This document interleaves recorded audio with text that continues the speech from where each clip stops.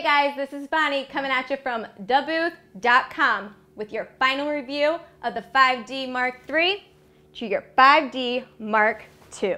Sell it. There we go.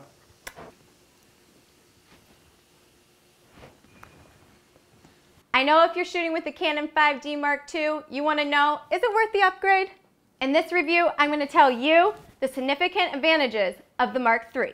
The biggest difference in the Mark III is your ability to shoot in low light.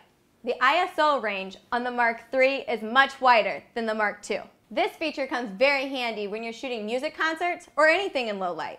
The Mark III, the ISO range is coming at you at 12,800 and the Mark II ISO can only go up to 6,400.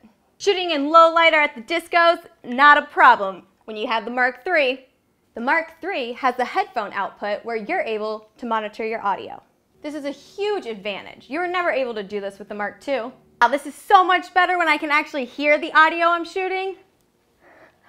Body model of the Mark III may look very similar to the Mark II, but there are some key differences.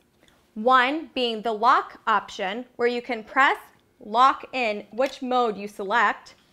Second, there is your zoom in is no longer on the right hand side. It's now easy access for your left thumb, zooming in and out.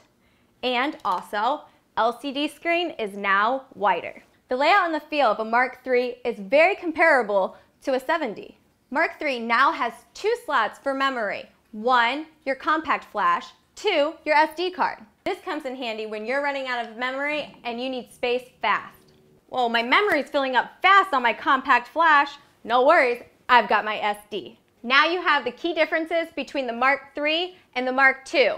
Now it's up for you to decide. Is it worth breaking the bank?